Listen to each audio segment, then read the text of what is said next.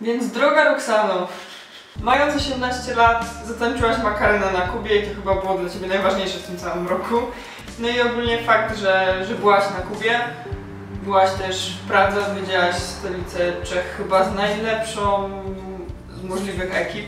Nakręciłaś też swój pierwszy taki poważny film krótkometrażowy i to Ci sprawiło naprawdę wiele frajdy.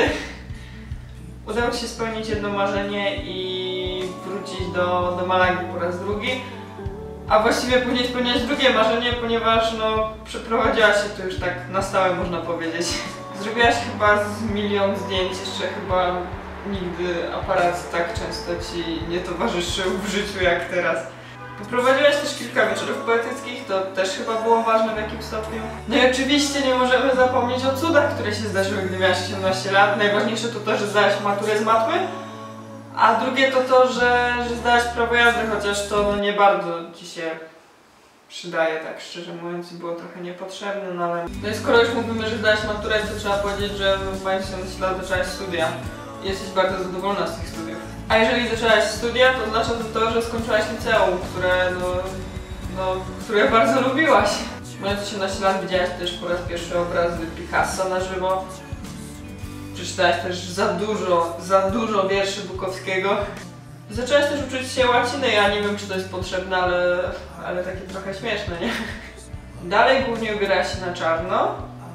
Oglądałaś też bardzo dużo filmów i tak w sumie nic się nie zmieniło pod względem twojego takim pod względem twojego takiego gustu filmowego. Dalej uwielbiasz Alana Rykmana, lubisz Bartona, ale pojawiły się takie nowe postacie. W końcu przekonałaś się do twórczości Hitchcocka czy Wes Andersona, a wcześniej byłaś nastawiona do nich bardzo, ale to bardzo negatywnie.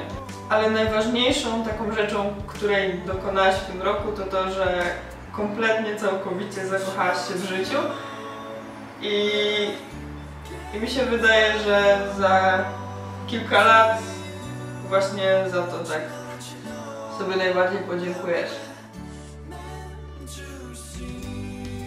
I nie wiem skąd to przekonanie się wzięło, że właśnie najlepsze lata mojego życia to będą te pomiędzy 16 a powiedzmy 20 rokiem życia.